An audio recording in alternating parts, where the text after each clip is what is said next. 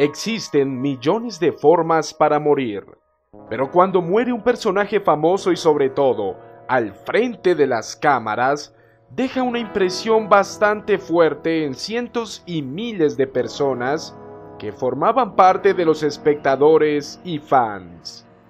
Así sucedió con la modelo que murió en plena sesión de fotos.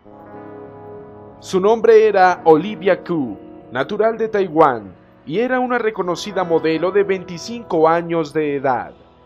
El 16 de mayo de 2016, mientras realizaba una sesión fotográfica acuática en Henchom Township, una localidad taiwanesa, en una de las tomas, ella debía sumergirse y aguantar la respiración mientras le tomaban las imágenes. Pero en esos instantes, al parecer, sufrió un ataque asmático y perdió la vida en unos cuantos minutos. De inmediato, el personal técnico que allí se hallaba llamó a los bomberos quienes a su vez llegaron con la guardia costera, pero no pudieron de ninguna manera reanimarla.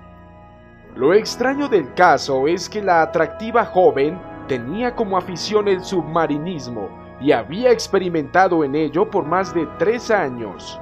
Por ejemplo, solía ofrecerse como voluntaria para recoger basura en el fondo del mar y había manifestado recientemente que quería ser retratada como si fuera una sirena en el agua.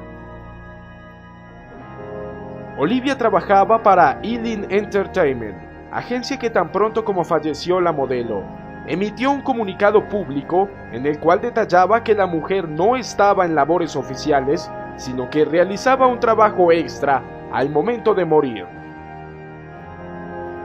La versión de la Guardia Costera señaló al equipo técnico de la sesión como los directos responsables, pues no contaba con personal profesional para poder llevar a cabo dichas tareas y que de haber sido al contrario, hubiera sido factible evitar aquella impactante muerte.